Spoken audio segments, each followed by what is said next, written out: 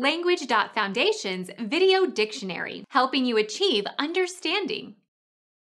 To a high degree. She is all too ready to accept the job. Only too.